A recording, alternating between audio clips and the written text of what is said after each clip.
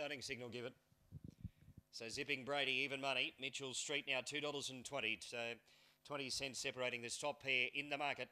You've got uh, the best of the rest. The inside drawn greyhound. Go, Emmy, go. First line. About to get set. So first row of greyhounds getting ready. Go Emmy Go is in. Green Carter is in line, and also Dynamo was Mitchell Street from the second.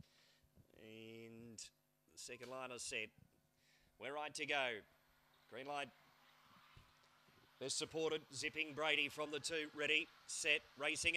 Zipping Brady probably missed it three parts of a length, and Mitchell Street from the seven rips across the face of the field and clears out by about four lengths. Over in second position was Go Emmy Go. The rails run through now for Zipping Brady.